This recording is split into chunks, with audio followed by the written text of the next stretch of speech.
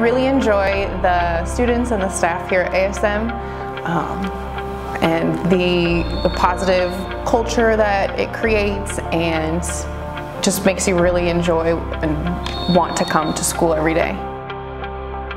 What I like is we've got a diverse group of children. So we've got children from Morocco, we've got children from other countries, and there's a good mix of, of, different cultures and different ways of thinking. So I like the fact that we've got lots of languages involved. So in this school we do Arabic, we do French, and we do English, and it all intertwines. ASM is a place that is evolving and growing. We're seeing a push towards investigating IB um, and getting students to be prepared for college. I would describe it as a very good place. Lots of people from different cultures come all over around the world and come here. They're very friendly teachers and people. So yeah, I'd really recommend this school. Here it's uh, really um, nice to be uh, in a multicultural environment of uh, staff and uh, students.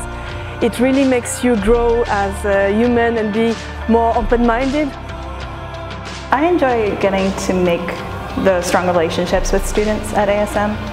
The students are funny and um, inquisitive and it's really great to be able to form strong bonds with them that then translate into more trust in the classroom.